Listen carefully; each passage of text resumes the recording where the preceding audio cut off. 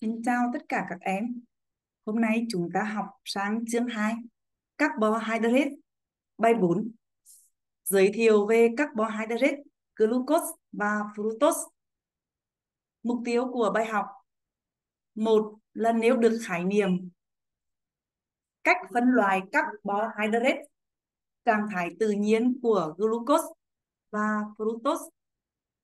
Hai là viết được công thức cấu tạo dạng mạch hở, dạng mạch vong và gọi được tên của glucose, fructose.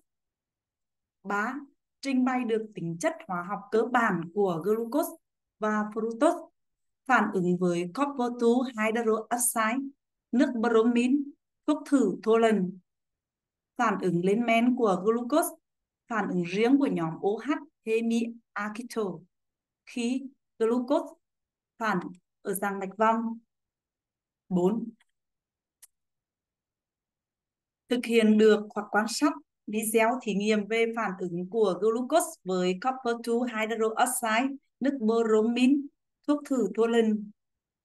Mô tả các hiện tượng thí nghiệm và giải thích được tính chất hóa học của glucose và fructose. 5. Là trình bày được ứng dụng của glucose và fructose.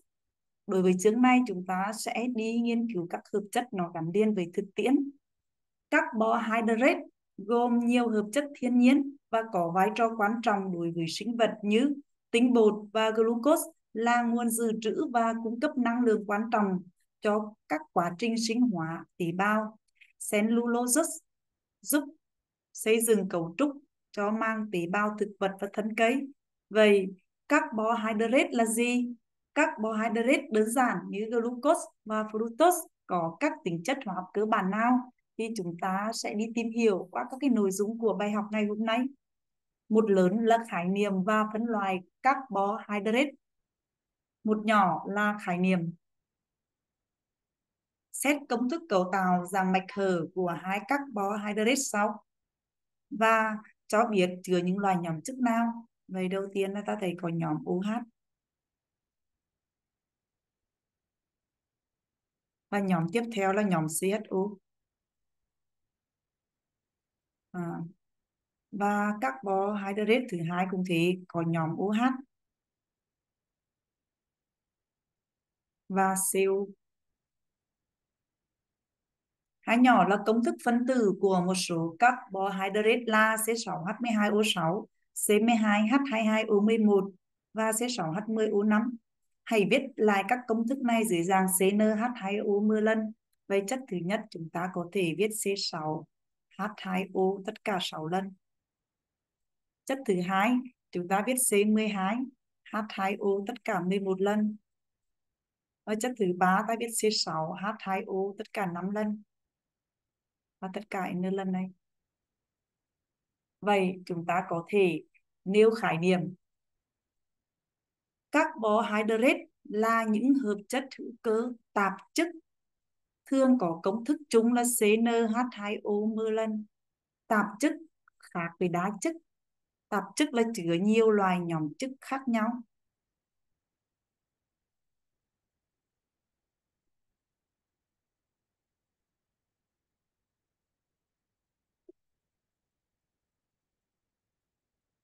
Là tạp chất.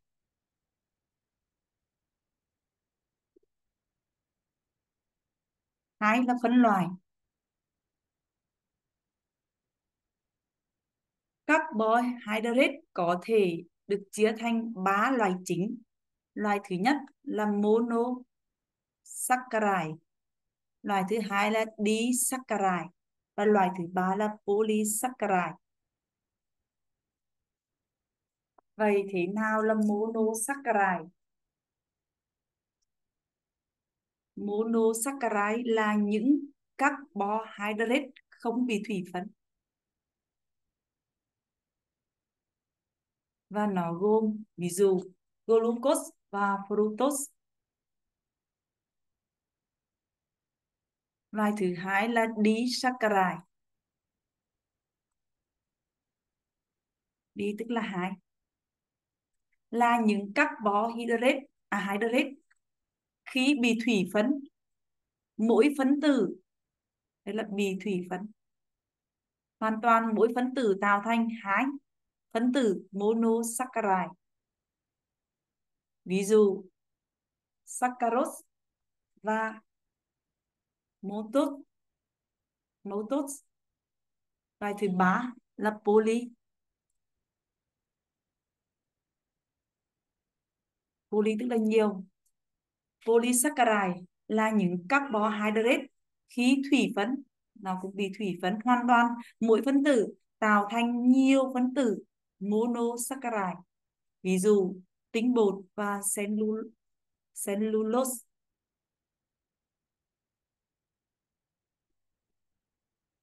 Và hôm nay chúng ta sẽ nghiên cứu loại đầu tiên là monosaccharide, gồm có glucose và fructose.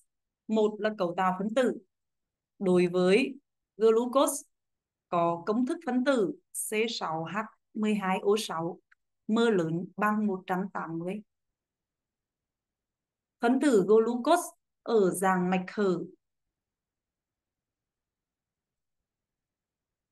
có 5 nhóm hydroxide, hydroxy là OH và một nhóm aldehyde có công thức cấu tạo CH2OH, CHOH tất cả 4 lần CHO.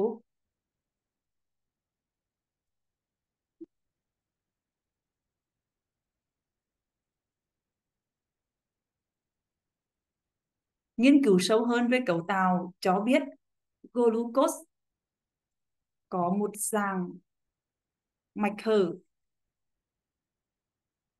và hai dạng mạch vòng alpha và beta có thể chuyển hóa qua lại lẫn nhau. Vậy ở đây, alpha glucose có thể chuyển hóa thành dạng mạch hở và chuyển hóa thành beta glucose và ngược lại. Ở đây nó khác nhau về vị trí nhóm OH của tạo mạch vòng và ta đọc nhóm OH này là hemiacetal Vậy các em lưu ý là glucose là có một nhóm chức aldehyde và năm nhóm chức OH. Còn loại thứ hai, đó là fructose. Thì công thức phân tử cũng là C6H12O6 giống glucose.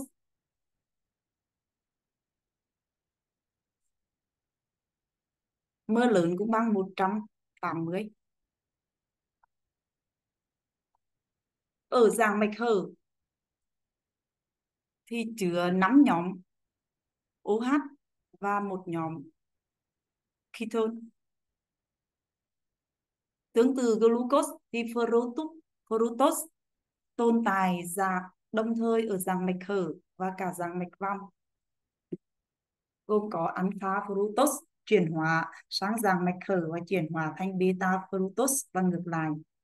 Ở đây alpha glucose khác beta glucose là ở nhóm OH hemiketal.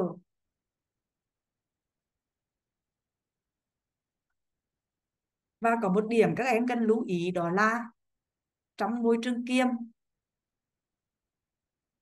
môi trường kiềm glucose và fructose có thể chuyển hóa qua lại với nhau. Chính vì cái đặc điểm này làm cho ở trong môi trường kiềm chúng ta có thể nhận xét ra ở mối trường kiềm.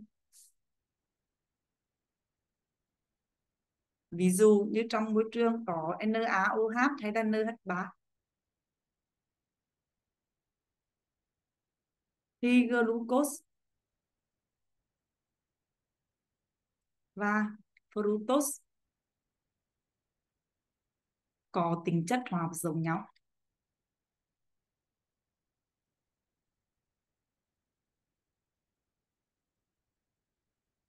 Vậy muốn phân biệt chúng thì chúng ta phải dựa vào môi trường axit.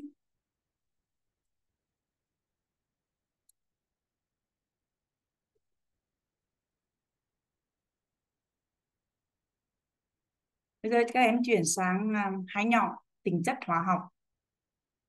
Đi từ cấu tạo phân tử của glucose và fructose ở dạng mạch hở và mạch vong. thì cho biết số nhóm chất ở trong glucose này là có 5 nhóm OH và một CHO còn fructose thì cũng có 5 OH và một CO vậy thì glucose sẽ có tính chất hóa học của polyalcohol và tính chất của aldehyde. Còn fructose sẽ có tính chất của hóa học của polyalcohol và ketone ngoài ra chúng ta cần lưu ý là trong môi trường kiềm vừa nhận xét trong thì glucose và fructose có tính chất hóa học giống nhau.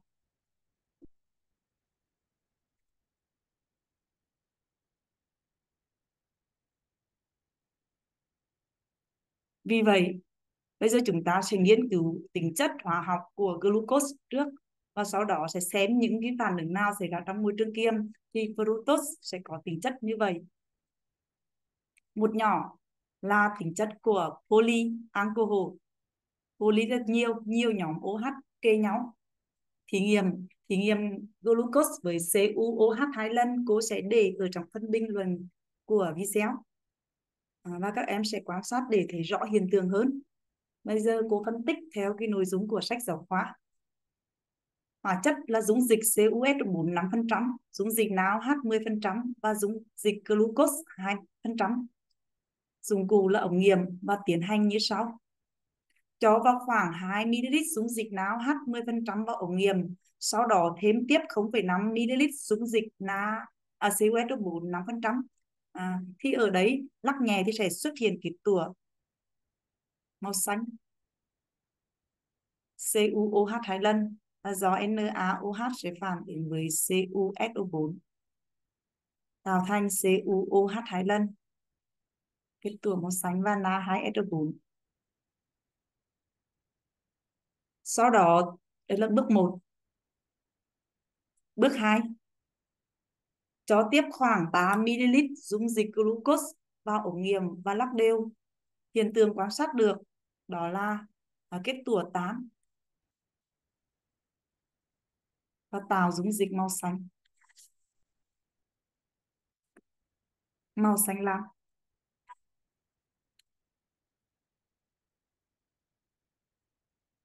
phương trình hóa học, xảy ra như sau. Đây.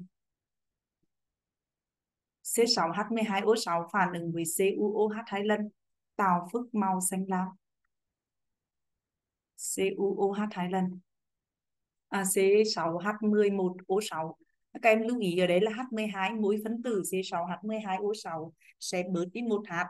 Vì vậy còn lại C6H11 O6 tất cả hai lần Cu ở đấy là kết tủa. Và bên này là 8 tổng phức. Do đó phản ứng này có thể dùng để nhận biết glucose. Và tương tự như vậy thì fructose cũng có nhiều nhóm OH liên kề nên fructose cũng có thể hòa tan copper to hydroxide. À, glucose và fructose đều có công thức là C6H12O6 về tính chất thứ nhất chúng ta viết ở dạng phân tử gộp lại các em không cần phải viết ở cái liên kết chói nhận để tạo với liên kết với nhóm OH và Cu và chúng ta chỉ cần viết phân tử như thế này là được rồi. B nhỏ là tính chất của aldehyde. Đó là tham gia phản ứng với CuOH hai lần trong môi trường kiềm khi đun nóng và phản ứng trắng gương và phản ứng với dung dịch brom. Ở đây có ba thí nghiệm.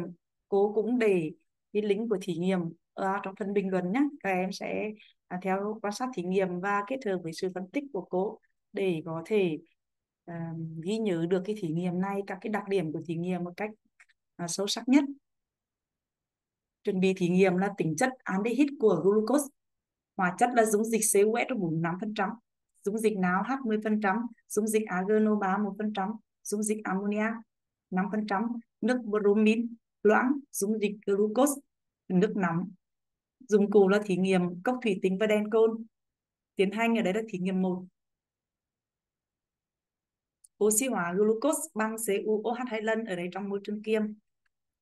Bước 1 cho khoảng 2 ml dung dịch não H10% vào ống nghiệm sau đó thêm tiếp 0,5 ml dung dịch CuS4 5% và lắc nhẹ thì thấy xuất hiện kết tủa màu xanh.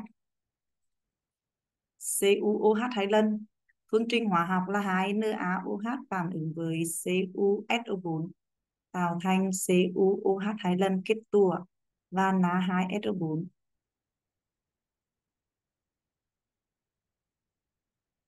bước 2 thêm tiếp khoảng 3 ml dung dịch glucose 2% và lắc ống nghiệm. Và chúng ta à, tiến hành luôn. Bước 3 là đun nóng ống nghiệm bằng ngọn lửa đen côn trong vài phút. Thì hiện tượng quan sát được là sẽ xuất hiện kết tủa màu đỏ gạch.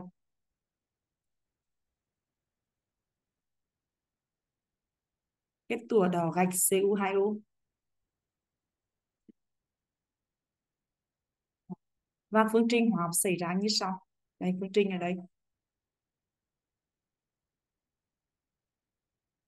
Ở nhóm chất aldehyde của glucose. Phản ứng với CuOH hai lần, cộng NaOH thì cái phần lần trước không phản ứng, chúng ta để nguyên. Phần này không tham gia phản ứng. Thì bây giờ ta cũng để nguyên. Và nhóm chất CHO biến thành CONA kết tủa Cu2O từ CuH màu xanh và Cu2O này kết tủa màu đỏ gạch. Trong phản ứng này Cu từ dương 2 về 0 và dương 1 chú ý xóa giảm đấy là chất oxy hóa. Thì glucose sẽ là chất khử.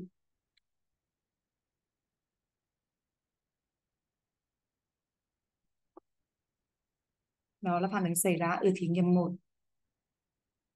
và phản ứng này có thể dùng để nhận biết. Ta dùng để nhận biết. Glucose. Thí nghiệm số 2 phản ứng của glucose với thuốc thử Tolan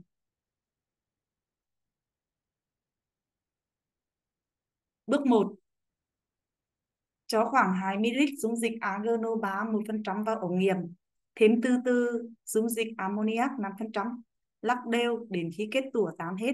Dung dịch thu, thu được là thuốc thử thô lần có nghĩa là đây là dung dịch A à, đầu tiên AgNO3 sẽ cảm ứng với NH3 tạo thành kết tủa AgOH nhưng kết tủa này nhanh chóng bị phân hủy.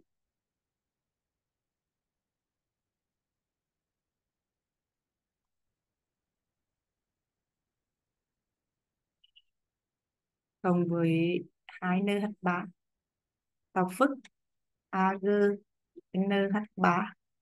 tất cả hai lần OH đây là thuốc thử Tholen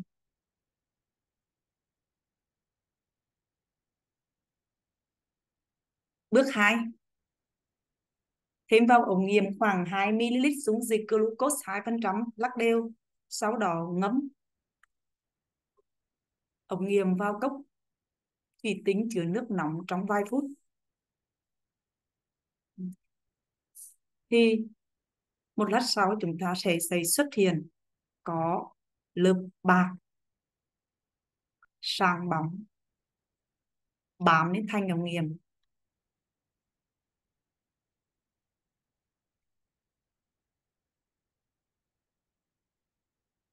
Và phương trình hóa học xảy ra như sau.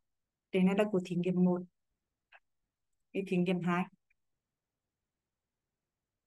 glucose, nhóm chất CHO cùng chuyển hóa thành COH nhưng ở trong NH3 cho nên CONH4 Ag cộng thể thành Ag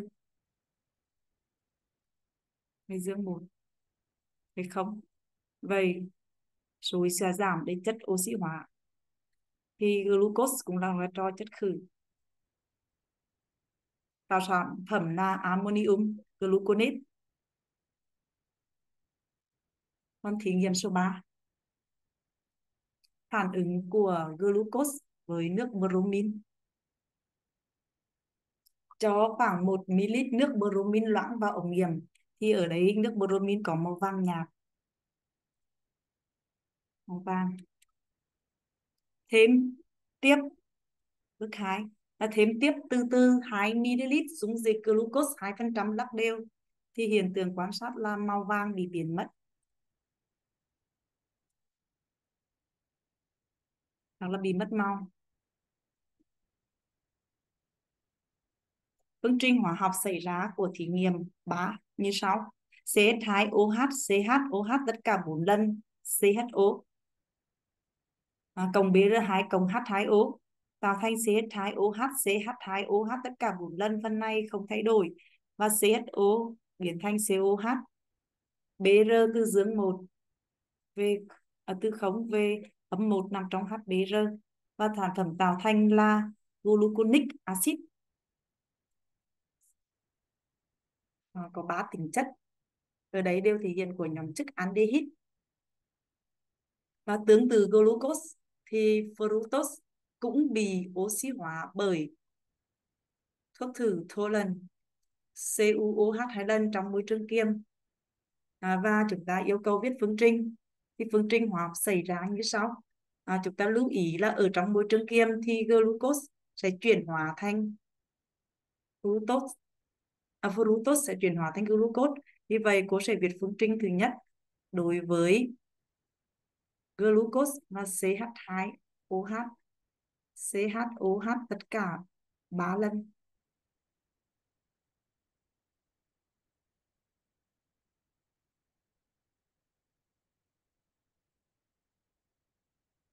CHO CO và CH2OH khi phản ứng với CuOH hai lần trong môi trường kiềm thì sản phẩm sinh ra giống như của glucose vì vậy chúng ta sẽ viết thành CH2OH CHOH cả 4 lần. COONA cộng với CU2O và H2O các em cân bằng phương trình. Còn ở với thuốc thử Tholen thì CH2OH CHOH tất cả 3 lần. CO và CH2OH cộng với 2 AgNO NH3 tất cả hai lần OH khi đun nóng, tạo thành CH2OH CHOH tất cả 4 lần. COONH4 cộng 2Ag cùng tạo kết tủa bạc cộng 3NH3 và nước. Nó, nó xảy ra hoàn toàn tương tự với glucose.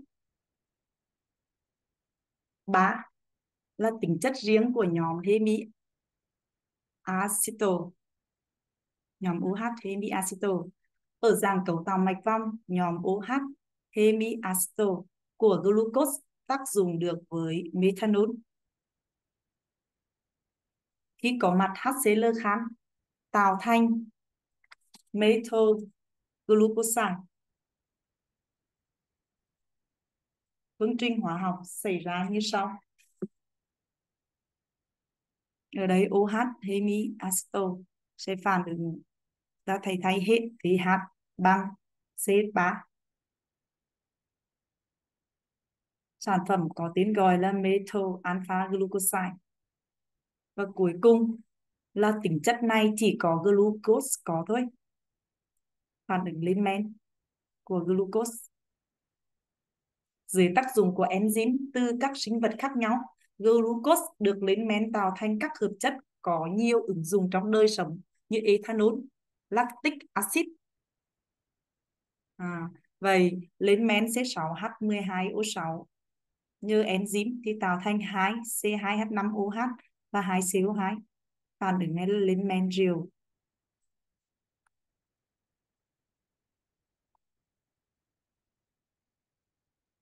tên gọi thông thường ta gọi rượu. Hoặc là C6H12O6 enzyme thì tạo thành axit lactic CH3 CH2OH và COOH nó có tạp chất. Vậy các em cần nắm tính chất của glucose và fructose đó là tính chất của polyalcohol và tính chất aldehyde. Ngoài ra còn có tính chất của nhóm OH hemiaceto của glucose và phản ứng lên men của glucose. Ba nhỏ trạng thái tự nhiên và ứng dụng. A là glucose. Glucose là chất rắn, trạng thái chất rắn dễ tan trong nước và có vị ngọt. Glucose được hình thành nhờ quá trình quang hợp và glucose có trong hầu hết các bộ phận của cây như hoa lá và nhất là quả chín, đặc biệt là nho chín. Có nhiều trong nho chín. Glucose cũng có trong cơ thể người và động vật. Trong máu người trưởng thành khỏe mạnh. Vào lúc đói có nồng độ glucose khoảng 4,4 đến 7,2 mmol trên gam uh, lít hay là 80 đến 130 micro mg trên dl.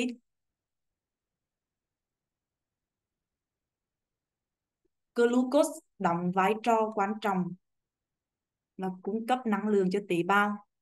Và trong cuộc sống glucose có các cái ứng dụng tráng ruột phích và tráng gương và nhờ có nhóm chức aldehyde, nhóm chất CHO phản ứng này là phản sản xuất ethanol là nhờ phản ứng bên men. Ăn thực phẩm và đồ uống có cồn này cũng là phản ứng bên men.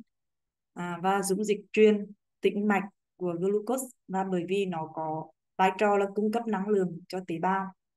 Còn tương tự như vậy fructose về trạng thái cũng là ở trạng thái rắn là chất rắn cũng dễ tan trong nước và có vị ngọt. Còn fructose có nhiều ở trong các trái cây táo, lựu, nho lê trong một số loài rau củ, cà rốt, củ cải đường và fructose đặc biệt có nhiều trong mật ong. Vì vậy, độ ngọt của fructose là ngọt hơn glucose. Và tương tự, fructose chủ yếu đóng vai trò cung cấp năng lượng cho tế bào. Vậy nội dung của bài học hôm nay các em cần nắm. Một là carbohydrate là những hợp chất hữu cơ tạp chất thường có công thức chung CnH2O 10 lần. Glucose và fructose tồn tại đồng thời cấu tạo dạng mạch, hở và mạch vòng. Fructose chuyển hóa thuần nghịch thành glucose trong môi trường kiềm do đó trong môi trường kiềm thì tính chất của hai à, hợp chất này giống nhau. Glucose và fructose thể hiện tính chất của các hợp chất polyalcohol đó là hòa tám được CuOH hai lần trong môi trường kiềm. Mà do có nhiều nhóm OH liên kề thể hiện tính chất của nhóm OH hemiaceto và nhóm chất aldehyde. Glucose và fructose là nguồn dinh dưỡng có giá trị cho con người. Chúng có nhiều ứng dụng trong các ngành công nghiệp thực phẩm và y tế. À, vậy cô đã hướng dẫn à, các em học xong bài 4 và hẹn gặp lại các em trong các video bài giảng tiếp theo. À, và các em sẽ vào xem vào cái chuyên đề học tập để củng cố các phần kiến thức mà chúng ta đã học nhé. Tạm biệt các em.